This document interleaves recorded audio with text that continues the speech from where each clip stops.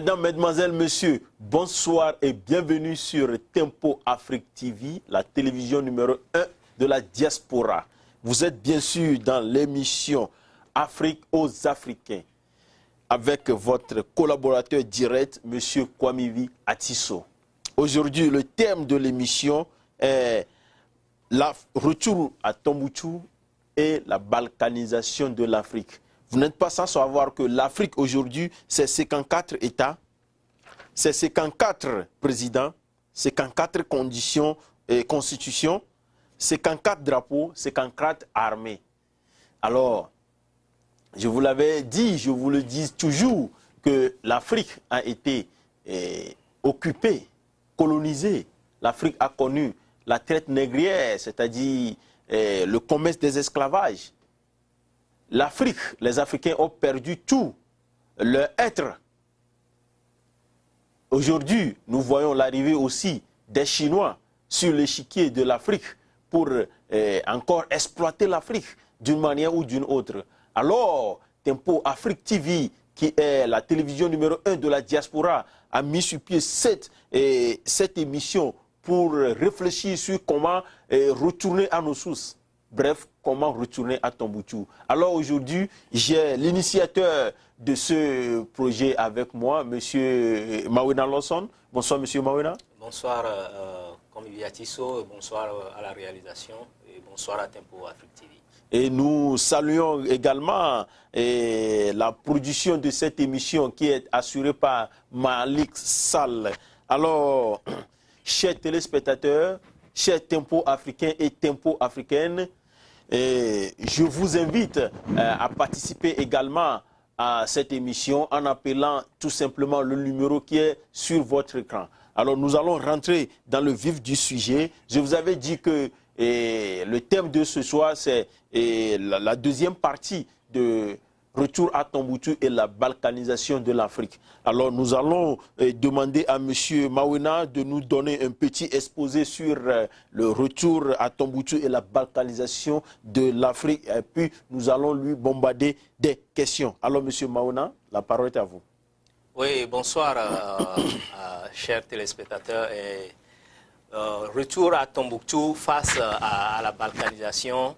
Et c'est un thème qui euh, euh, va essayer de nous permettre d'expliquer mieux l'effet de la balkanisation sur l'unité de l'Afrique. L'unité de l'Afrique qui est le seul moyen pour les Africains de sortir du joug de, l'influence occidentale et internationale. Donc, euh, nous allons essayer ici d'apporter quelques ingrédients pour expliquer euh, aux Africains principalement et comment nous allons faire pour euh, et, sortir de cette histoire de balkanisation et ce qui nous permettra donc d'aider de, l'Afrique à, son unité, dans son unité. Merci, M. Mauna. Est-ce que nous pouvons déjà commencer par euh, un, petit historique? Comment les frontières ont été tracées en Afrique? Et, parlant de, la conférence de Berlin, bon, est-ce que vous pouvez faire un petit historique à nos, auditeurs?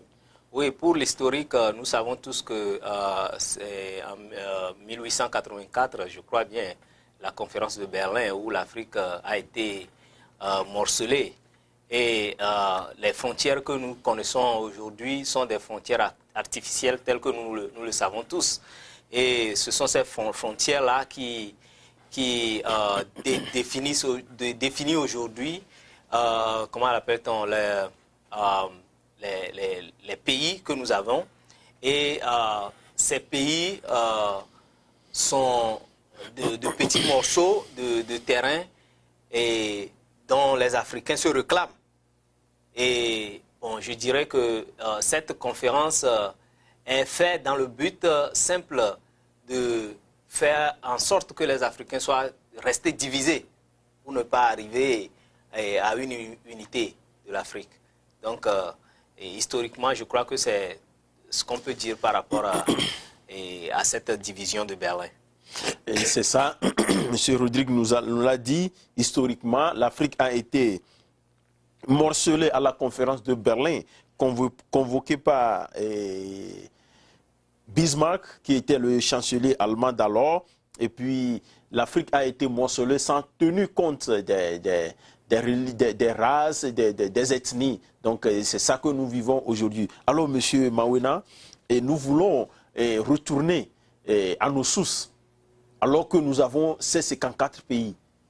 Comment est-ce que nous pouvons faire ce retour tout en gardant ces 54 pays ou bien est-ce que nous, allons faire le retour euh, en n'ayant pas de pays Monsieur Mawena euh, D'abord, moi je dirais que euh, nous devons nous effacer ces frontières imaginaires qui a été créées par les Occidentaux, puisque ces frontières ont été, cette délimitation ont été faites sans tenir compte de la vie des Africains. Aujourd'hui, nous avons dans des pays, par exemple, si vous prenez le Togo et le Ghana, nous avons des populations qui sont au Ghana et qui ont des familles au Togo.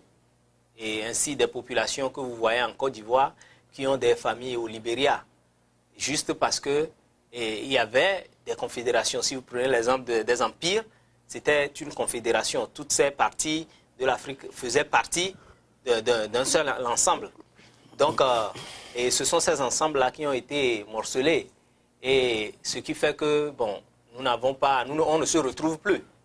Et euh, si on ne se retrouve plus, nous sommes justement dans le rôle dans lequel l'Occident voudrait nous mettre.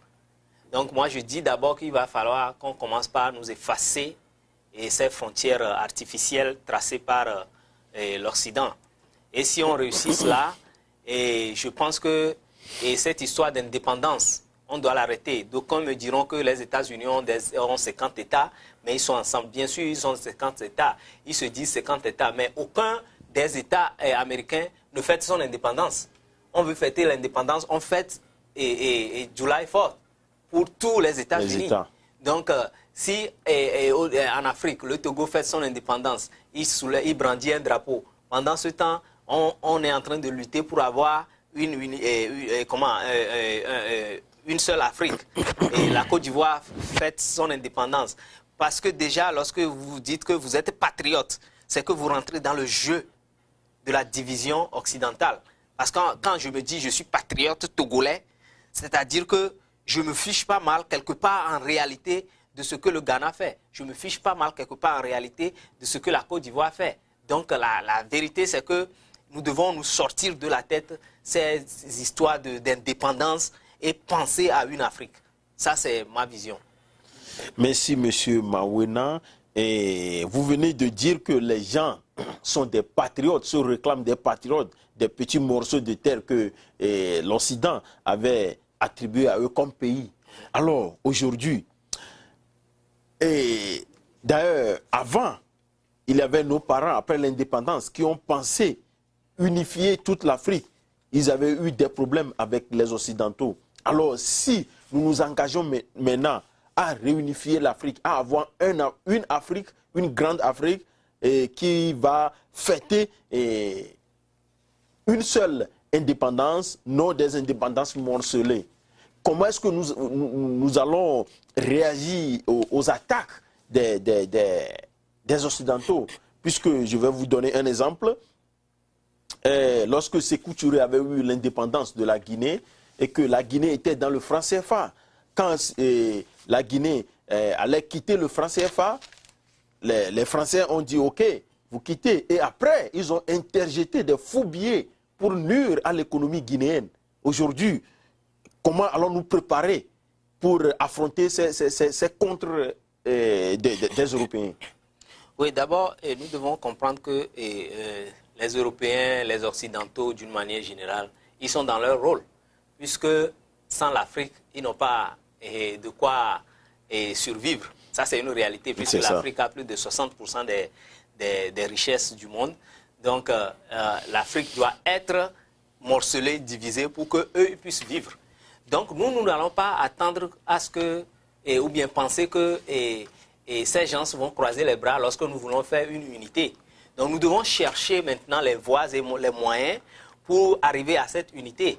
Et ce que je dis souvent, l'une des premières voies que nous devons utiliser, c'est d'abord euh, retrouver notre histoire. C'est pour une raison simple que l'Occident fait tout pour mettre sur, à la tête de ces morceaux de, terre qu'on appelle pays en Afrique, ce n'est pour rien que l'Occident met des gens qu'il peut manipuler. Et comme ça, on n'aura pas, comment l'appelle-t-on, à, nous enseigner notre histoire. Le colloque du Caire, ça fait 45 ans maintenant. Et la conclusion du colloque du Caire a été claire. Le colloque d'égyptologie du Caire de 1974, de euh, janvier février 1974, a été clair que à la fin du colloque, si les, thèses euh, de Anta Diop et de Théophile Obenga ont été battues, si, si on, battait leurs thèses, c'est-à-dire que Théophile Obenga et comment appelle-t-on, euh, Diop avait dit qu'il n'allait plus écrire. Mais que si eux ils gagnaient, la seule chose qu'ils demandaient à l'UNESCO, c'est que qu'on rétablisse l'histoire de l'Afrique. Donc c'était le contrat du, du colloque du Caire. Mais aujourd'hui, le colloque du Caire fait 45 ans. Et après 45 ans, c'est l'histoire des vainqueurs toujours qu'on nous sert. Donc c'est pour une raison. Donc nous, nous n'allons pas attendre que, parce que les Occidentaux vont nous, nous, attaquer, donc on ne, va pas, on ne va pas faire le travail qu'on doit faire. Nous allons toujours faire le travail que nous devons faire, puisque nous ne voulons pas rester dans cette servitude-là. Nous voulons sortir de cette servitude. Donc il le faut. Donc premièrement, nous devons faire tout pour euh, retrouver notre histoire. Nous devons faire tout à, base, à partir de cette histoire-là, reconstituer et, nos, euh, comment l'appelle-t-on, nos institutions. À partir de là, nous pouvons et avoir une vision du monde à nous-mêmes et, bâtir euh, une nation forte qui sera et cette Afrique euh, forte dont, nous, nous appelons tous de nos voeux. Merci, Monsieur Mauna. Comme le dit un adage de chez nous, c'est au bout de l'ancienne compte qu'on tisse la nouvelle. Donc, euh, Monsieur Rodrigue vient de le dire. Nous devons connaître notre histoire et sur notre histoire, nous allons bâtir nos propres institutions. Alors, Monsieur Mauna, eh, vous n'êtes pas sans savoir que aujourd'hui, quand un, président, par exemple, un homme fort, eh, se lève pour euh, aller défendre les causes de l'Afrique, ou bien pour euh, faire quelque chose que le colon n'aime pas, comment est-ce que nous allons convaincre les autres euh, présidents à, les soutenir? Je prends par exemple l'exemple du président ghanéen qui euh, vient de, dire que le Ghana ne veut plus des, aides du Fonds monétaire international. Et on voit comment les choses se passent dans son pays actuellement. Est-ce que ne serait-ce pas bon que euh, les Africains le soutiennent? Comment est-ce qu'on va convaincre les autres? Et du moins, si on n'arrive même pas à convaincre les présidents, on sait que la plupart des présidents travaillent pour l'Occident. Comment est-ce qu'on va faire que le peuple, la base peuple, soutienne ces, la base peuple soutient ces initiatives oui, euh, ces initiatives ont besoin d'être soutenues. Euh, d'abord, nous devons aussi comprendre une chose, que euh, l'un des combats qui est, qui est livré à l'Afrique est, est, un combat économique. Parce qu'on fait tout pour que les gens soient affamés, parce que, que d'aucuns disent que le ventre affamé n'a point d'oreille. Donc, lorsque vous êtes affamé, on vous parle de l'histoire. Qu'est-ce que vous faites? Vous vous en fichez de cela. De Donc, et nous devons faire aussi un combat d'abord euh, économique. Et c'est puisque c'est à partir de, de l'aliénation économique que et c'est non l'aliénation économique plutôt est la conséquence de, de l'aliénation spirituelle. C'est ça. Parce que lorsque les gens ont faim, les gens, les gens ne trouvent pas à manger, et lorsque les gens ont des problèmes économiques, ils pensent qu'ils vont se donner à, quelqu'un qui va les sauver. Donc ils, se jettent dans des histoires de, Messie, etc. Donc le problème économique et le problème religieux est un peu lié. Maintenant, et pour soutenir, euh, euh, comment l'appelle-t-on, les présidents qui sont là, qui sont en train de faire un effort, qui ont compris, on ne peut pas demander à toute la population de le faire, mais il faut d'abord expliquer aux populations africaines le, bien fondé du fait que nous, nous reconnaissions notre histoire. Et je sais que la nouvelle génération qui vient maintenant essaie de comprendre ce qui se passe. Beaucoup de personnes maintenant se posent la question sur ce qui arrive à l'Afrique. Ça veut dire que ça vient. Donc, nous, notre travail, c'est toujours le travail d'éveil. Parce que ce n'est pas un chemin, c'est-à-dire on ne va pas sortir l'Afrique de ce pétrin du jour au lendemain, d'ici ou demain. Ça peut prendre 100 ans, ça peut prendre 150 ans, ça peut prendre 200 ans. Euh, c'est un, objectif à long terme. de long terme. Voilà. Donc, si c'est de long terme, quel est le premier, et, comment l'appelle-t-on, élément? Le premier élément, c'est de faire d'abord l'inventaire des papyrus. Parce que toute la réalité est au niveau des papyrus. Toutes les vérités sont au niveau des papyrus. Maintenant, si nous arrivons à faire l'inventaire des papyrus, nous allons faire tout pour traduire ces papyrus dans nos langues locales. Parce que si les papyrus détiennent la vérité et que nous arrivions à traduire, comme je prends l'exemple, la Bible a été traduite dans nos langues locales, dans quelques langues, je ne sais pas si toutes les langues locales, mais dans quelques langues locales. Le, je prends l'exemple du Coran, par exemple, c'est traduit dans des langues locales. Nous devons aussi traduire les papyrus dans les langues locales et pour que la, base, les populations, le, commun du mortel puisse comprendre ce qui se passe réellement. L'autre chose, c'est de créer des institutions à base maintenant de, cette tradition. Parce que quand vous prenez, et, comment l'appelle-t-on, euh, des gens qui ont fait les études économiques, par exemple. Donc, ces gens, quand vous les voyez, ils ne, font pas, ils, ne vous expliquent pas l'économie à partir de, de, ce qui se passe chez eux, dans leur pays. De la réalité. De la réalité de leur pays. Donc, ils viennent, des, pays africains. ils viennent nous parler de l'économie de la France, par exemple. Qu'est-ce que ça a à voir avec euh, l'Afrique?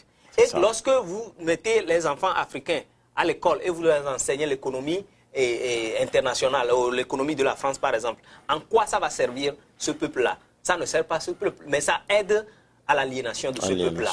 Vous voyez? Donc, nous devons créer les, conditions qui nous permettent de connaître nos propres choses.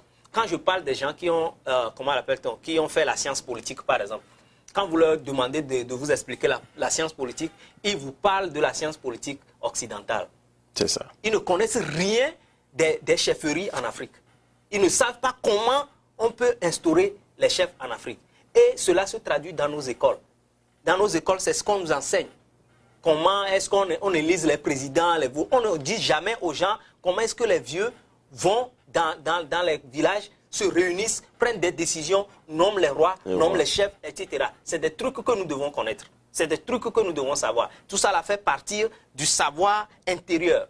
Et lorsqu'on n'a pas ce savoir intérieur, on ne peut pas prétendre avoir un, savoir extérieur. Parce que ce savoir extérieur ne sert pas le savoir intérieur. Donc, la quatrième chose, c'est qu'il faut avoir un savoir intérieur de soi-même, se connaître soi-même.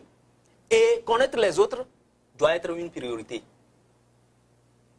Il faut connaître soi-même et après, on peut utiliser sa priorité pour connaître, les, autres. Et même lorsqu'on utilise cette priorité pour connaître ce que les autres font, on ne doit pas prendre tout ce que les autres font. On pique ce qui est bon pour nourrir ce, qui est, ce que nous avons. Et c'est le contraire qui se fait dans cette éducation-là. Et vous devez comprendre qu'à partir du moment où un peuple perd son système éducatif, donc ça voudrait dire que ne peut plus, ce peuple ne peut plus traduire et transmettre les valeurs, ses valeurs, ses propres valeurs de génération en génération. Et qu'est-ce qui se passe? Le phénomène d'assimilation et d'aliénation commence. Puisque tu, lorsque tu perds tes valeurs et tu prends la valeur de l'autre, c'est l'aliénation qui commence à partir de là. Puisque tu ne fais que avaler les valeurs de l'autre et rejeter. non seulement tu rejettes, tu n'apprends même pas tes propres valeurs. Tes propres valeurs. Et c'est dans le cas où se trouve l'Afrique actuellement. Actuellement. Voilà. Donc voilà des, quelques pas que nous devons, et, comment l'appelle-t-on, et avancer pour pouvoir évoluer. Évoluer. Alors, Monsieur Rodrigue, Monsieur Mawena, en, en, faisant vos développements tout à l'heure, vous avez parlé de papyrus. Est-ce que vous pouvez éclaircir en quelques mots, expliquer en quelques mots les papyrus à nos auditeurs? Oui, les papyrus, ce sont, euh, comment l'appelle-t-on les, documents qui ont été retrouvés en Égypte, dans l'Égypte antique après l'attaque des Ixos et autres, lorsque les, les, les Ixos sont attaqués. Presque tous les peuples du Nord ont attaqué l'Égypte. Donc quand ils ont attaqué, ils ont brûlé les temples, tout ça là. Ce sont les documents qui, qui, restaient et qu'ils ont piqués. Donc euh, ce sont, et, ces documents comportaient les, les réalités c'est les choses que les pharaons ont mis et, à, l'écrit. Et c'est une, une autre preuve qu'il y avait une écriture en Afrique. En Afrique. Lorsqu'on nous dit, on nous, on nous, on nous, on nous nourrit de cette fausse, et je ne sais pas comment l'appeler, histoire C'est une fausse histoire. Je ne sais pas s'il faut dire fausse histoire parce que généralement vous entendez dire que l'Afrique n'a pas d'écriture. Lorsque les gens veulent attaquer les Africains, ils disent que non, l'Afrique, l'histoire, l'histoire de l'Afrique n'est pas écrite parce que l'Afrique n'a pas d'écriture. Mais il a été prouvé que l'écriture existait en Afrique. Est-ce que vous connaissez ce qu'on appelle l'os du Shango? L'os du Shango, c'est la première tablette mathématique qui a été découverte, qui a été découvert en, République démocratique du Congo. Du Congo. L'os du Shango. L'os du Shango. Le premier os du Shango a plus de 75 000 ans. Actuellement, si vous allez en Belgique, le, ministère de l'Éducation de la Belgique a fait, et a fait un, comment l'appelle-t-on, un monument de l'os du Shango. Si vous allez à l'heure où nous parlons en Belgique, leur ministère de l'Éducation a installé l'os du Shango là-bas. Et sur l'os du Shango, il y a quoi? Il y avait des théorèmes mathématiques. Presque tous les théorèmes mathématiques. Et les, algorithmes que nous utilisons quand nous faisons les eh, plus, eh, plus eh, soustraction, addition et autres, il y a, on nous a appris à l'école une seule algorithme pour faire les, les, les, additions et les soustractions.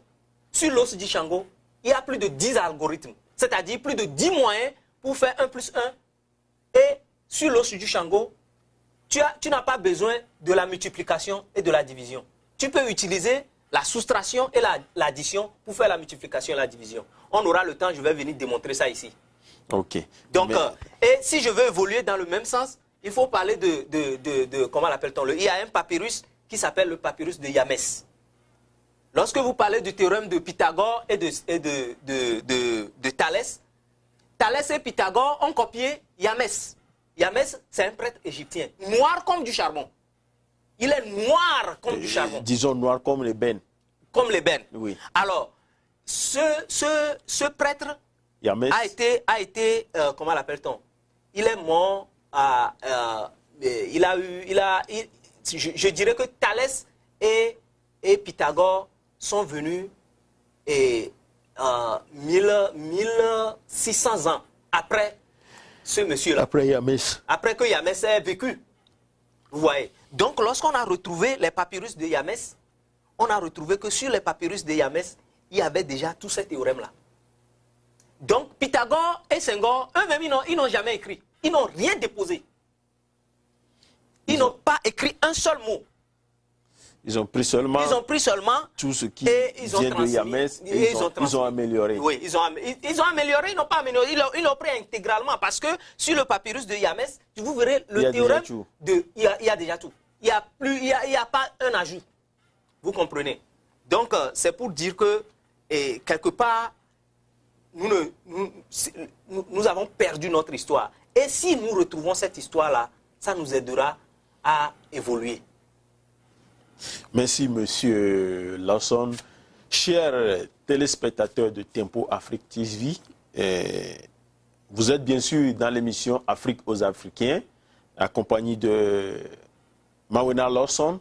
Vous pouvez intervenir dans cette émission en composant seulement le numéro qui se trouve sur votre écran. Alors, Monsieur Mawena, aujourd'hui, nous parlons de la Grande Afrique, de reconquérir la Grande Afrique.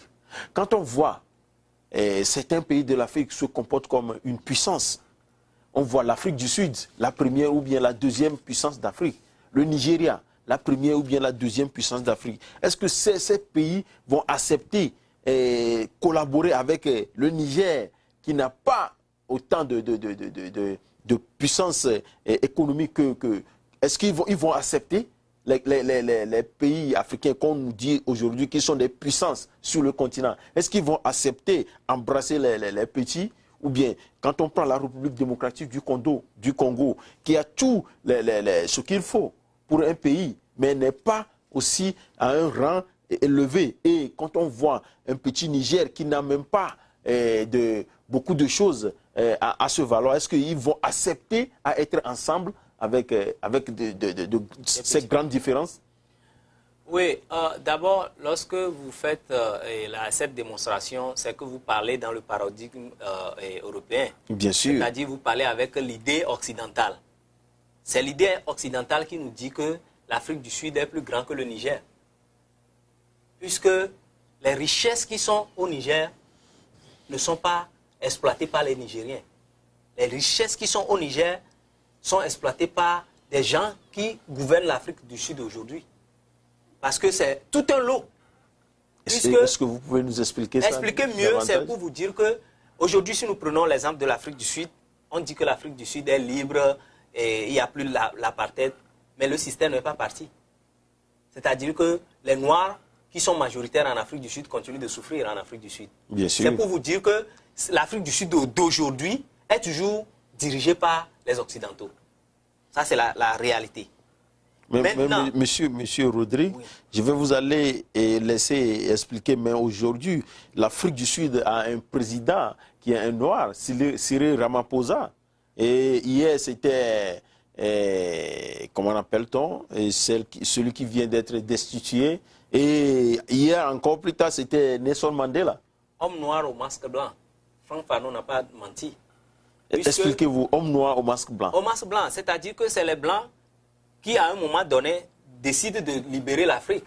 Mais libérer euh, entre griffes. C'est-à-dire, on libère, mais on ne libère pas. On ne libère Donc, si on ne veut pas réellement libérer parce qu'on a des bénéfices là-bas, il faut placer des gens qui sont pour nous là-bas.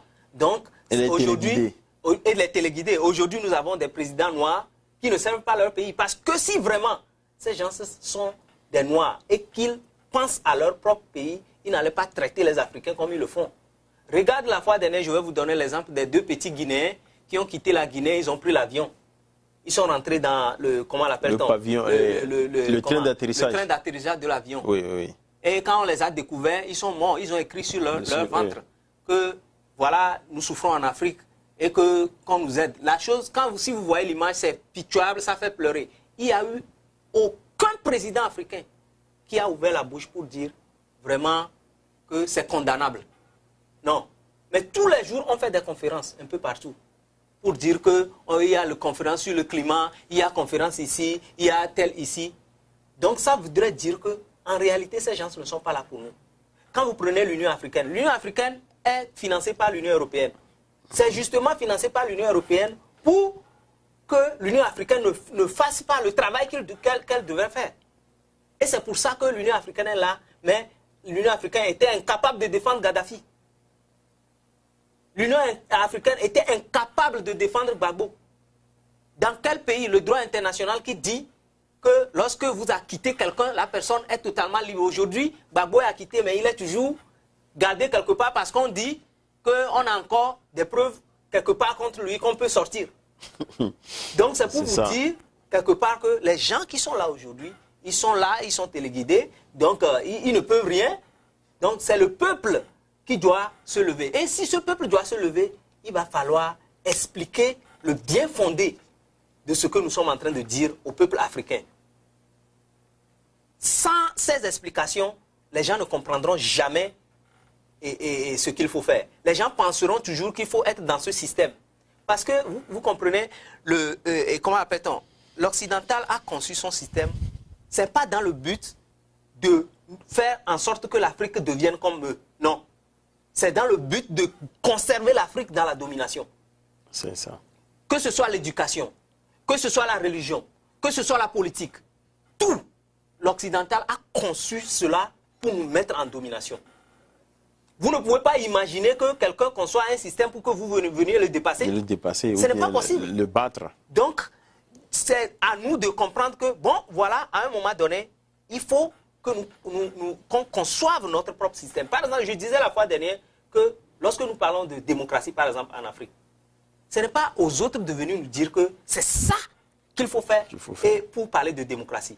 Aujourd'hui, les Africains ont. Et lorsque l'occidental vient, il sort un mot tout le monde saute là-dessus sans comprendre le bien fondé, la raison pour laquelle l'occidental sort ce mot-là. Donc nous devons faire attention à ces choses et comprendre que nous sommes en perpétuelle lutte. Coupe d'Afrique des Nations 2019 en direct sur iptv.tempoafrictv.com. La 32e édition de la Cannes 2019 est en live sur Tempo Afrique TV Du 21 juin au 19 juillet, suivez le duel des nations qualifiées à l'instar du Sénégal, Maroc, Cameroun, Mali, Burundi, Algérie, Bénin, Nigeria, Afrique du Sud, Ghana, Kenya, Zimbabwe, RD Congo, Guinée, Côte d'Ivoire, Angola, Mauritanie, Tunisie, Égypte, Guinée-Bissau, Namibie, Ouganda, Tanzanie et surtout le Madagascar pour sa première fois sur iptv.tempoafrictv.com. Tempo Afrique TV, votre chaîne du sport préféré. Voilà. Merci, monsieur Lawson. Lorsque l'occidental vient avec un mot, on saute sur ça. C'est ça. C'est comme ça. On, avait, dans les années 90, on avait sauté sur les conférences nationales et on voit ce que ça donne aujourd'hui. Alors, monsieur Mawena, et vous avez parlé de certaines choses dans vos développements. Vous avez parlé de quand l'Occident crée le système, ça ne veut pas dire que nous allons nous développer avec ce système. Alors on voit aujourd'hui la Chine et l'Inde qui se développent euh, très rapidement. Est-ce qu'ils ont utilisé des systèmes différents, ou des systèmes différents que celui de l'européen ou bien américain ou bien leur propre système? Est-ce que vous pouvez nous éclaircir un peu là-bas pour que les Africains aussi prennent conscience et prennent l'envol? Vous allez remarquer que euh, quand vous prenez l'Inde et la Chine, et vous avez remarqué que c'est des pays qui ont leur propre, qui n'ont pas perdu leur, leur culture. Expliquez-vous, expliquez-vous. Ils n'ont pas perdu, perdu, leur religion. Parce que la religion est l'un des sous-bassements de, de, du développement des peuples. Voilà. Je ne dirais pas même du développement, parce que le mot développement même, c'est un mot qu'il ne faut pas utiliser. Parce qu'à partir du moment où un être vivant naît sur la Terre, il commence par son développement automatique. Donc, je parlerai de souveraineté économique, parce que c'est la souveraineté économique qui donne, qui, qui fait, et si je veux emprunter le thème développement, c'est la souveraineté économique qui montre qu'un peuple est en train d'évoluer. Voilà. Donc, ces pays, vous allez remarquer qu'ils ont leur propre système et, et religieux. Ils ne sont pas dans nos systèmes euh, et christianisme, ils ne sont pas dans nos systèmes, euh, comment l'appelle-t-on, islamique, ils ne sont pas dans le système et, et, comment, et, et, comment, judaïque et, ou bien et- ouais, judaïque, et etc. Vous voyez, ils ont leur propre système. Si vous allez au Japon, la fois dernière, vous avez vu lorsque le Japon a fait euh, le passation de service au, du roi, Oui. le roi, du Le roi, vous qui a avez vu- laissé la place vous à son- à son fils. Tout le, comment l'appelle-t-on, le gouvernement était là. C'est ça. Et quand ils étaient venus, ils n'ont pas appelé Jésus-Christ, non. Ils ont appelé leurs ancêtres. Ils ont appelé leurs ancêtres et ils ont prié. Mais le Japon, À la japonaise. le Japon, c'est l'opposé de l'Afrique. Vous savez pourquoi? Le Japon n'a aucune ressource sous son sous-sol. Zéro. Mais aujourd'hui, le Japon est, je crois, la huitième puissance du monde. Voilà. Pourquoi? Parce que le Japon a conservé son système et a cherché un système de, démo- de démocratisation pour elle-même. Et c'est ça qui fait que le Japon évolue. Ils ont cherché un système économique propre à eux.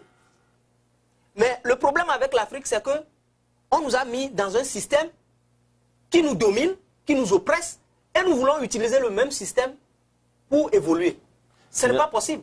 Finalement, si je comprends, on nous a mis dans un système où on se bat entre nous et l'Occident vient ramasser les choses. non seulement que l'Occident vient ramasser, l'Occident a, c'est-à-dire, c'est comme, c'est comme toi et moi, on va à la chasse. Donc nous avons fait une stratégie. Nous avons dessiné le terrain. Voilà ce que nous allons faire sur le terrain pour arrêter les animaux. Voilà. Et bon, les animaux disent que bon, on va rester dans le schéma que les gens là ont tracé pour fuir. Ils seront vite capturés. Ils seront vite capturés. Puisque nous, on a conçu le système pour les arrêter. Monsieur, Monsieur Mawena, et je comprends bien que l'Afrique doit développer son propre système, mais on a parlé du Japon aujourd'hui. Le Japon a un roi et qui est toujours là et qui se succède de parent en fils. En Chine, le système est fait de, telle sorte que euh, c'est un parti, en quelque sorte, parti unique. Alors que en Afrique, nous nous réclamons des, mandats. Nous nous, nous, nous, nous, parlons de délimitation des mandats. Est-ce que si vraiment nous voulons construire l'Afrique, est-ce qu'il faut eh, l'alternance que nous clamons ou bien est-ce que nous, allons retourner dans la royauté avec, euh, quand tu viens, tu, tu, tu fais la guerre et tu, tu es l'homme fort et tout le monde t'obéit Ou bien est-ce que nous allons parler, utiliser l'alternance politique vais, pour... Je, je, vais commencer par, et, par et, et dire que lorsqu'on parle de Obama qui parlait d'institutions fortes, je vais dire aujourd'hui qu'il n'y aura jamais d'institution forte sans un homme fort. C'est que nous, les Africains, nous pensons que la démocratie se lève aujourd'hui et demain, on l'aura. Voilà. C'est ça l'erreur que l'Africain commet. Avant que les États-Unis ne soient ce qu'ils sont, il a fallu combien d'années Il ça. a fallu combien d'années avant qu'ils ne soient ce qu'ils sont Combien de guerres et, et je ne refuse pas que nos dirigeants ne font pas du bien, mais l'Afrique a besoin des hommes forts pour installer des institutions fortes. Merci beaucoup. Si l'Afrique n'a pas des hommes forts, ce serait difficile. Lorsque vous prenez le système démocratique, j'ai toujours donné cet exemple depuis 1960 jusqu'à nos jours, qu'est-ce que vous remarquez? C'est des démocrates dictateurs qu'on est en train d'installer. Des démocrates dictateurs qui utilisent le système démocratique pour se pérenniser au pouvoir. C'est ça. Ils utilisent le système exactement, sans faute, pour être là. C'est pourquoi je dis que si nous voulons évoluer, nous n'allons pas utiliser. C'est parce que les gens pensent toujours que avoir la démocratie, l'alternance, c'est venu par, par, qui? Les Occidentaux. C'est eux qui ont amené ça. ça, ça. Aujourd'hui, la Suisse est là. Elle ne parle pas de président. Mais est-ce que les Suisses vivent? Bien sûr. Même si l'Afrique veut avoir des rois, aussi longtemps que les populations africaines vivent à l'aise et qu'ils trouvent à manger à leur faim, et qu'ils évoluent, font, ils font tout ce qu'ils veulent dans la paix, moi je trouve que c'est ça même notre démocratie. Donc c'est parce que nous voulons toujours imiter l'autre. Les autres. Alors que l'autre que tu veux imiter te donne par exemple un système, il dit c'est un système démocratique et, et semblable à la mienne que je te donne. Sachant très bien que lorsqu'on fait l'élection dans un pays et que le président vole l'élection, ils peuvent venir dire que l'élection est OK. C'est ça. Et ils le font. Nous avons plusieurs exemples dans, en Afrique. Ça se fait tous les jours. Donc comment nous pouvons, nous les Africains, continuer par croire en des choses comme ça je, je, me souviens la fois dernière, lorsque il y avait une vidéo qui est sortie sur Aliou Sall. Qui, Oui. qui, qui euh, comment l'appelle-t-on? Le- le petit frère de le Macky petit frère Sall. de Macky Sall. Avec euh, Qu'est-ce qui s'est passé? J'ai vu, là, dans la vidéo, on a montré lorsque Macky Sall venait au pouvoir, son discours contre, eh, comment l'appelle-t-on, la corruption. Et juste son premier acte contre la corruption, c'est de, c'est de, eh, comment, c'est de valider la corruption. En faisant quoi? En, en, en, en, en octroyant des, des, des comment l'appelle-t-on, des, des, euh, euh, Des contrats. marchés Des marchés, oui. hein, aux, aux- aux- aux sociétés fictives. Vous voyez? Donc, on utilise le système pour nuire aux Aux, Africains. aux Africains. Vous voyez? Donc, nous n'allons pas continuer par croire que ce système démocratique, soi-disant démocratique, que l'Occident nous donne, c'est ça qui va nous faire sortir. Non. Nous ferons mieux de bâtir un système pour nous-mêmes. Et je sais que lorsqu'on nous disons bâtir un système pour nous-mêmes, les gens pensent que jusqu'à quand on va bâtir ce système? C'est pourquoi j'ai donné tout de suite l'exemple des États-Unis. Ils ont mis combien de temps pour être stables? C'est ça. Regardez. Donc, si nous ne commençons pas ce travail dès maintenant, et on pense que non, qu'on est déjà en retard, c'est pourquoi je dis aussi que ce, et, et comment, cette problématique de retard, on doit se sortir cela de, de la tête. C'est quand on dans la vie d'une nation, c'est rien. C'est ça. Le problème, c'est les actes posés durant ces 50 ans-là qui font problème. C'est les actes posés. Donc, nous ne sommes pas en retard. Nous pouvons construire un système pour nous-mêmes. Et lorsque nous, cons- nous construisons un système pour nous-mêmes, nous serons, par exemple, lorsque vous allez dans ce village, voilà les règles qui sont dans le village. Donc, nous allons vivre à partir des règles qui sont dans ce Dans ce village-là. village, voilà. Maintenant, on s'en va prendre les règles de Paris. On vient imposer ça, et comment l'appelle-t-on, dans un village, et, et comment, à, à, Boaké, par voilà. exemple. Donc, comment, comment est-ce que les gens de Boaké peuvent vivre selon les lois de Paris? De Paris. Ce n'est plus possible. C'est pour ça, vous remarquez même que nos chefferies, tout ça là, n'ont plus de valeur. Bien sûr que oui. Parce que nous avons pris le système occidental comme étant le meilleur système. Or, dans ce système-là, on dit président. Une, une seule personne qui a tous les pouvoirs. et qui a tous les pouvoirs et qui décide pour tous les autres. Le présidentialisme est un mauvais système pour l'Afrique. C'est pourquoi dans certains pays, vous voyez les présidents, mais ils sont des présidents honorifiques. En Éthiopie, par exemple. celui qui est président, c'est honorifique. comment l'appelle-t-on? Comment, euh, En Allemagne, oui. le président est honorifique. honorifique. Vous voyez Même euh, en Angleterre, la reine elle est honorifique. Elle, elle, ne prend pas tellement de... C'est le Parlement qui prend le, Parlement. la décision. Alors qu'en Afrique, nous avons pris ce système présidentialiste comme un système meilleur et ce qui fait que les Africains s'entretuent entre eux. C'est ça. Chacun se bat pour être président au lieu de se battre pour le peuple. Vous voyez Et lorsque nous parlons de démocratie, les gens donnent souvent l'exemple de l'Angleterre. Mais en Angleterre, vous savez que c'est la reine qui nomme le Sénat Oui. C'est la reine qui nomme le Sénat, c'est ça la démocratie ben, on, nous dit que non, il faut voter pour des gens pour qu'ils soient là. Mais on voit une reine qui nomme tout un Sénat. C'est ça. Donc, et c'est ça que nous prenons comme démocratie. Vous voyez? Regardez le mouvement des Gilets jaunes en France aujourd'hui. Oui. Les Gilets jaunes sont en train de réclamer l'arbre à palabre aujourd'hui en France. Ce que Macron refuse de leur donner. Et ils croient qu'en allant euh, euh, au Tchad pour prendre de l'argent et leur donner, ils vont se taire. Eh, bien sûr. et maintenant, ils continuent. Ils continuent. Ça continue. Donc, vous voyez que si nous ne construisons pas notre propre système, on aura un problème. Nous ne sommes pas en retard, que les Africains et prennent et comment la, patience et qu'on essaie d'inculquer à nos enfants aujourd'hui les valeurs africaines pour que ces enfants, demain, puisse construire un système de gouvernement bon pour l'Afrique. Propre à l'Afrique. Propre à l'Afrique. Alors, Monsieur Mawena, merci beaucoup. Et peut-être la semaine prochaine, nous allons parler de eh, retour à Tombouctou et les langues, et si possible, l'éducation. Alors, aujourd'hui, Monsieur Mawena, dans notre travail ici aux États-Unis, ou bien dans, en Europe, quand les gens, les Européens veulent aller au, Togo, au Sénégal, en Côte d'Ivoire, ils disent qu'ils s'en vont en Afrique. Ils ne disent pas qu'ils s'en vont au Sénégal.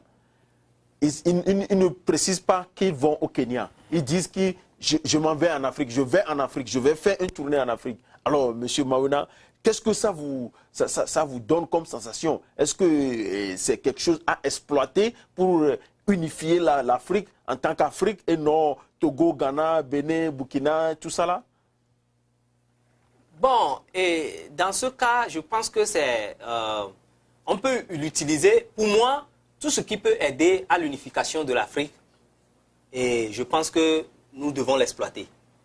Si les Occidentaux eux-mêmes commencent déjà par dire, je, quand, lorsqu'ils vont, au Togo, par exemple, ils commencent par dire, je vais en Afrique, mais c'est un très bon moyen pour l'Africain, qui, le Camerounais qui va au Cameroun de dire, je rentre en Afrique. En Afrique. Donc, ça commence par donner cet élan de, de, l'Afrique, d'être africain. Afrique, du continent pays Afrique. voilà. Parce que le problème que nous ne comprenons pas aujourd'hui, c'est que le petit Bénin seul ne peut pas lutter, avoir un, deal avec euh, comment, la Chine. La Chine, voilà le petit Togo ne peut pas faire comment, un contrat avec la Chine. La Chine va nous écraser. la Chine va, nous, va lui dicter. C'est des gens qui ont l'arme atomique. Ils protègent leur population partout où ils vont. C'est des gens qui ont des, des, comment l'appelle-t-on, des, des, des, sociétés de mafia un peu partout. Voilà. Vous comprenez? Donc, ils utilisent cette force-là pour évoluer. L'Afrique ne peut pas évoluer en étant morcelée. Ce n'est pas possible. Ce n'est pas possible. Lorsque nous parlons la fois dernière, on a parlé de, du Togoland. J'avais dit ici que moi, je ne suis pas contre le fait que les populations du Togoland réclament leur liberté. Mais nous devons aussi comprendre les conséquences qui vont suivre cela. Parce que, je donne toujours l'exemple de, de, comment l'appelle-t-on, du Soudan du Sud.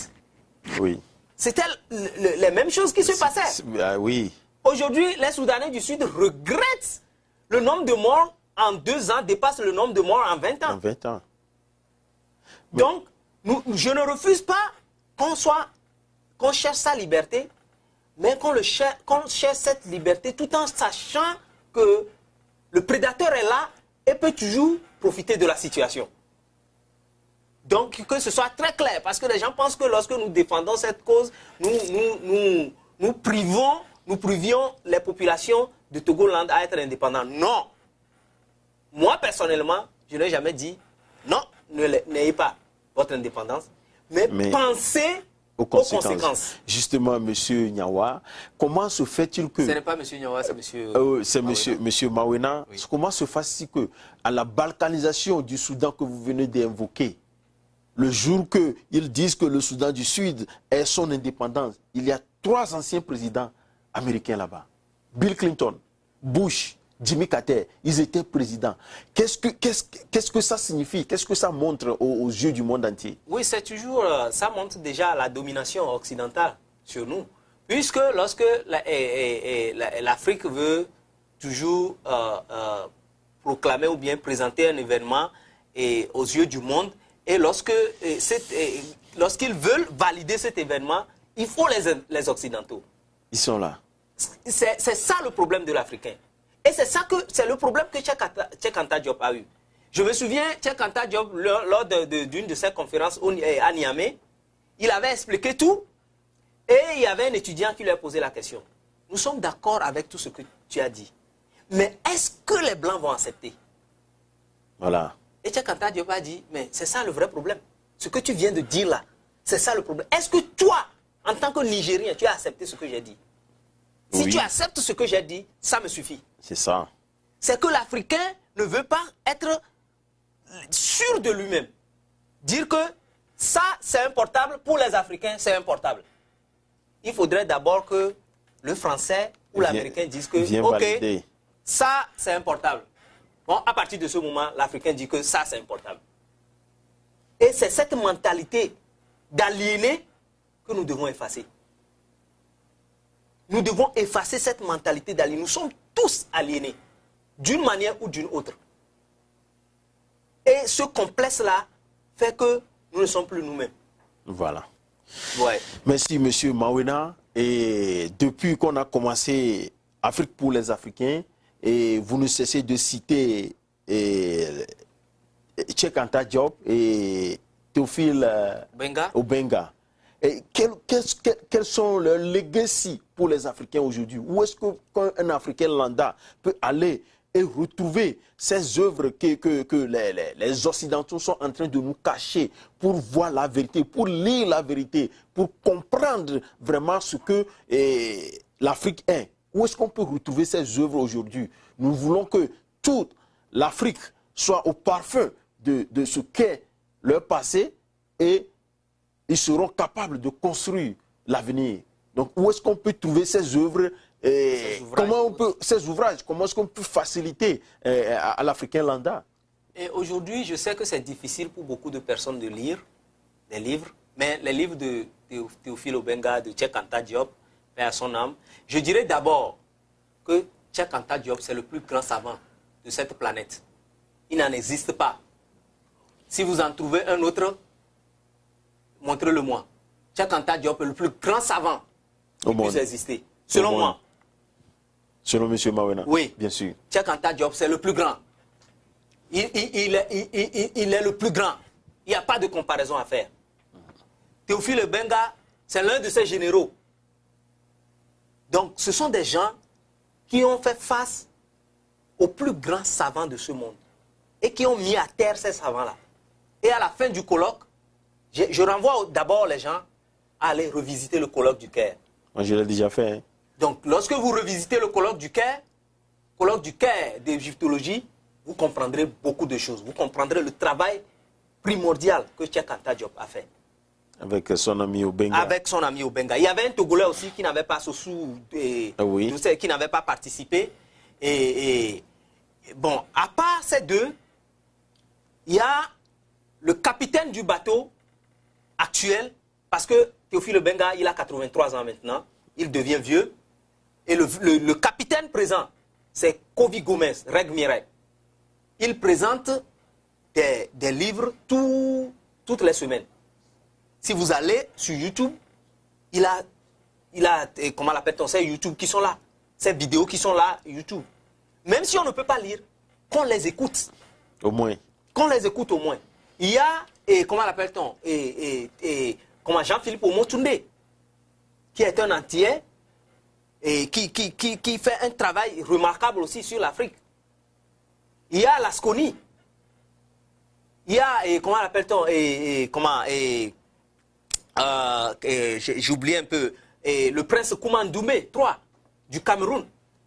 C'est des gens qui font un travail remarquable pour l'Afrique. Il y a un Bambok Basson du Cameroun. L'homme qui parle de la boîte noire de l'Afrique. Voilà. Donc, nous- ces gens ont des œuvres que nous ne lisons pas. Il a écrit, Mbobok a écrit, les, et comment l'appelle-t-on? Toutes les théories possibles. Mais on ne lit pas. Alors, on monsieur, lit pas. monsieur Mawena, comment se fait-il que ces gens-là, ils ne sont pas un, ils ne sont pas deux, ils sont aussi nombreux, mais comment se fait-il que la- la- la- l'Africain lambda ne- n'arrive pas à, à- à lire leur, leur, leur, leur- leur, euh, œuvre, alors que on, nous chante chaque fois, et, et qui encore, et Jean, Jean, Jean, Jean-Philippe Omotunde? Non, non, non. eh, Jean de La Fontaine, on nous chante avant Victor Hugo, on nous chante des gens comme ça, mais on n'arrive pas à, à recevoir les œuvres de ces, de, de ces Africains, Je dis de ces souvent- panafricanistes. Je dis souvent, si aujourd'hui moi je parle de ces gens, c'est que tous les autres qui ont les moyens aussi peuvent parler de ces gens. Je dis moyens, je veux parler de l'Internet est là. Nous crions Internet tous les jours. Donc pourquoi les gens ne peuvent pas aller chercher à écouter ces gens? Au moins écoutez-les seulement. Je ne dis pas de croire.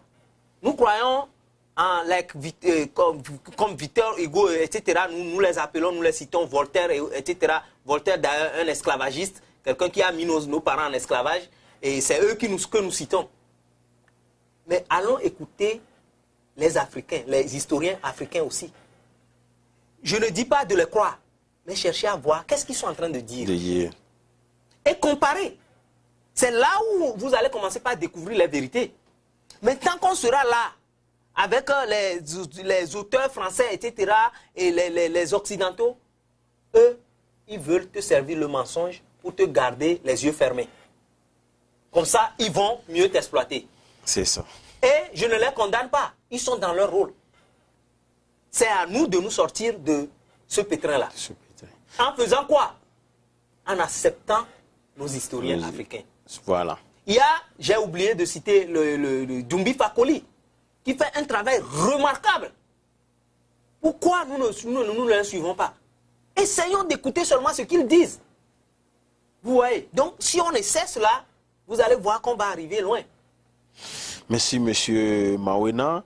Et nous sommes euh, presque à la fin de cette émission, mais j'ai deux ou trois questions encore à vous poser. Qu'est-ce que on parle aujourd'hui de la balkanisation, de la balkanisation. Est-ce que vous pouvez nous donner le, côté positif de la balkanisation de l'Afrique? Malheureusement, moi, je n'ai pas trouvé de côté positif de cette balkanisation, puisque jusqu'au jour d'aujourd'hui, le peuple africain souffre. Et donc, on me diront qu'il y a eu la médecine, tout ça là. La médecine n'est pas venue parce que l'occidental a eu pitié de l'africain. La médecine qu'ils ont amenée, d'abord, l'Afrique avec sa médecine. Puisque lorsqu'ils venaient pour mettre les Africains en esclavage, comment ils avaient décrit les Africains? Ils décrivaient les Africains comme ceci. Allez prendre les Noirs. Ce sont des gens qui n'ont pas peur des étrangers. Ils sont robustes. Pour qu'un peuple soit robuste, il faut que ce peuple mange bien. Bien. Il faut que ce peuple soit, Soit en bonne santé. Donc, je parle de quelque chose d'avant le 15e siècle. Donc, imaginez si les Africains avaient ces formes dont eux-mêmes ils parlent, Il décrivait. ils décrivaient. Donc, imaginez comment l'Afrique était. Quand ils sont venus faire leur razzia, ils ont fait le désordre qu'ils vont faire en Afrique, ils ont maintenant commencé par amener la médecine. Pourquoi? Parce que durant les razzias, ils ont tué beaucoup de personnes. On dit la colonisation a fait du bien, non. On exploitait les gens jusqu- jusqu'aux dernières gouttes de sang. Donc, sachant que ces gens vont finir comme ils l'ont fait aux Indiens d'Amérique, ils ont commencé par amener la médecine pour soigner quelques-uns parmi eux. C'est ça. C'est ça l'objectif numéro un de la médecine qui était venu en Afrique. Donc l'occidental n'a pas amené la médecine en Afrique, en réalité, pour que les Africains soient sauvés. Donc quand les gens me disent que que la, colonisation et l'esclavage ont apporté du bien à l'Afrique, c'est du pipeau, c'est du désordre qu'ils sont en train de raconter. Monsieur Mawena, et une, question encore. Aujourd'hui, nous parlons de la réunification de l'Afrique, de retour à nos sources. Est-ce que tu peux nous dire en quelques phrases quels seraient les bienfaits d'une Afrique retrouvée, une Afrique, une grande Afrique retrouvée Les bienfaits d'une Afrique retrouvée, c'est que d'abord tous les Africains seront vraiment libres. Et la preuve a été que l'Égypte a fait 5000 ans d'histoire. C'est ça. Les, les- les- nos, nos- nos royaumes, quand vous voyez pendant le temps de l'Empire euh, Songhai, de l'Empire du Mali, de l'Empire du Ghana, vous allez voir que c'était de l'abondance. C'était au temps des grandes universités, Tombouctou, C'est ça. donc, c'est-à-dire, nous- si nous retrouvons cette, celle- et comment, et cette liberté de l'Afrique, l'unification de l'Afrique, nous allons encore retrouver. Puisque, une autre chose, l'Afrique est celle-là qui est, comment l'appelle-t-on, qui a toutes les ressources du monde. Bien sûr. Alors, si nous sommes nous-mêmes, on a besoin de quoi? Rien. On a besoin de, de plus, on n'a plus besoin de rien. Voilà. Donc, on peut évoluer facilement. Vous voyez? Donc, l'unification de l'Afrique ne fera que du bien à l'Afrique. Alors, Monsieur Mawena, qu'est-ce que vous pouvez dire à un téléspectateur qui nous dit, qui nous a écrit sur euh, Facebook que eh, réunifier l'Afrique, avoir un pays n'est pas possible? Qu'est-ce que vous pouvez lui dire? À la lui où les choses vont, les Européens ne vont pas laisser faire et même certains Africains ne vont pas laisser faire.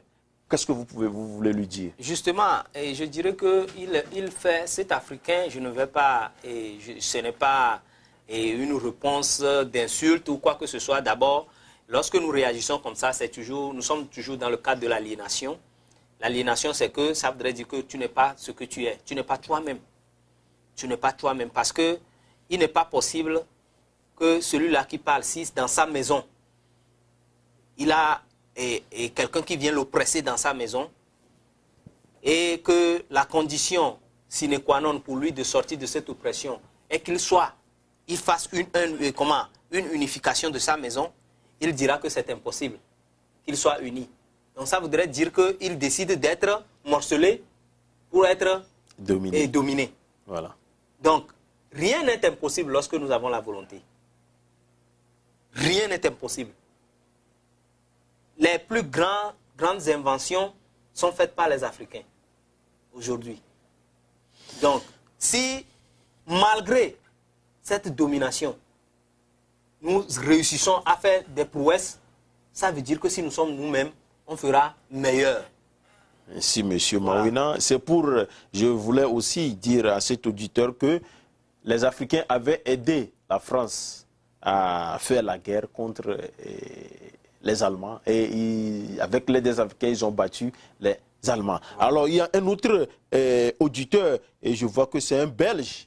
Il nous dit que si l'Afrique se réunit, c'est l'Europe qui paie. Alors, nous n'allons pas vous laisser faire. Qu'est-ce que vous voulez lui dire? Il est dans son rôle. Et il a raison. Il a raison parce que vraiment, si l'Afrique euh, devient unie, c'est l'Europe qui perd. Puisqu'ils viennent chez nous, ils puisent tout. Et c'est parce qu'ils veulent puiser, ils ne veulent pas relation d'égal à égal. Ils veulent dominer. C'est pour ça qu'ils font tout pour que l'Afrique soit divisée. Donc si ce Belge dit que nous n'allons jamais vous laisser, faire, faire. il défend son plat. Quoi de plus normal qu'un prédateur défende sa, sa proie? C'est ça. Donc c'est quitte à la proie maintenant de chercher à se sortir du- des griffes du prédateur. Donc si la proie elle-même déjà dit que non, que c'est impossible que je me sorte du doigt, comment, des griffes du prédateur, ça veut dire que la proie veut se faire manger. Donc il n'est pas lieu à cette proie de venir crier que nous sommes eh, martyrisés, que nous sommes eh, dominés, on nous a mis dans la servitude. Non. Vous voyez? Lorsque la France a été libérée, elle a été libérée aussi du nazisme monétaire. Mais la France a jugé bon que ce nazisme monétaire est bon pour l'Afrique. D'où le franc CFA. C'est ça Donc vous voyez que c'est un problème. C'est un problème terrible que nous avons. Si nous ne nous sortons pas des griffes de l'Occident, si nous, nous, nous, nous ne nous unissons pas, c'est un problème pour nous. Donc, l'unité de l'Afrique est la condition sine qua non pour que l'Afrique retrouve sa liberté. Sa liberté. Voilà. Merci, Monsieur Mawena. Nous allons boucler cette émission avec euh, peut-être une dernière ou, euh, question. Et aujourd'hui, nous parlons de la réunification de l'Afrique ou retour à nos sources. Alors, est-ce que vous pouvez, en résumé, dire à nos téléspectateurs ce qu'il faut commencer dès à présent à faire depuis leur maison avant qu'on ne, on, ne généralise ça? Oui, euh, euh, ce qu'il faut commencer à faire, c'est qu'il faudrait que les Africains commencent par comment, euh, redonner, puisque ce travail doit toujours aussi commencer par nos maisons. Voilà. Faire comprendre à nos enfants les réalités de l'Afrique.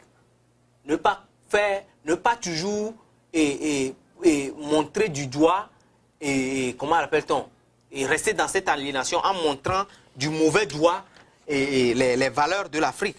Voilà. Donc, euh, et en commençant par euh, nos valeurs euh, ancestrales religieuses et en, allant vers, comment appelle-t-on, les, les, valeurs de nos institutions, en expliquant comment l'Afrique a, fait pour dominer ce monde durant 5000 ans, en parlant de l'Égypte antique à, nos enfants, en parlant de, comment l'appelle-t-on, de ce qui s'était passé au, temps des, des empires à nos enfants en les expliquant la vraie histoire, non pas l'histoire qui nous a été servie par les, les, vainqueurs.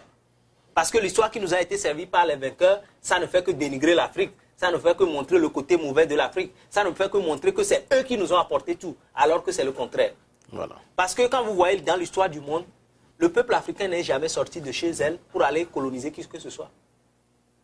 Bien sûr. C'est toujours eux qui quittent chez eux. S'ils en avaient tant et qu'ils pensent que ils, vont, ils, vont, ils sont en train de donner aujourd'hui au monde entier. Qu'est-ce qu'ils viennent chercher chez nous? Pourquoi ils ne veulent pas quitter? Pourquoi ils ne veulent pas nous laisser vivre C'est ça. Vous vous comprenez Donc il faudrait que les, les, chaque parent commence par dire à son enfant à la maison ce que c'est l'Afrique. Ceux qui sont conscients et ceux qui ne sont pas conscients, qu'ils commencent par prendre conscience et qu'ils commencent par étudier, écouter les choses sur l'Afrique pour pouvoir faire sortir comment le meilleur de l'Afrique et transmettre ses valeurs aux enfants. Voilà. Merci, Monsieur Mawena. Nous sommes pratiquement à la fin de cette émission. Nous saluons de passage Monsieur Serge Niawa, qui n'est pas parmi nous aujourd'hui. Nous saluons aussi Monsieur Yves Kenao. Alors, chers téléspectateurs de Tempo Afrique TV, nous voici ainsi arrivés à la fin de cette émission. Merci pour votre fidélité.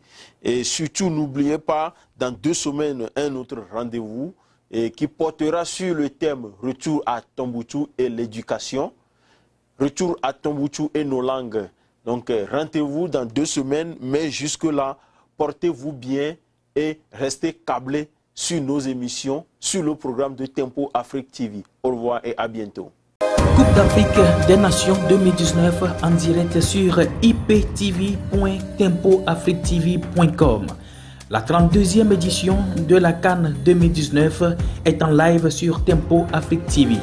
Du 21 juin au 19 juillet, suivez le duel des nations qualifiées à l'instar du Sénégal, Maroc, Cameroun, Mali, Burundi, Algérie, Bénin, Nigeria, Afrique du Sud, Ghana, Kenya, Zimbabwe, RD Congo, Guinée, Côte d'Ivoire, Angola, Mauritanie, Tunisie, Égypte, Guinée-Bissau, Namibie, Ouganda, Tanzanie et surtout le Madagascar pour sa première fois sur iptv.tempoafrictv.com. Tempo Afrique TV, votre chaîne du sport préféré.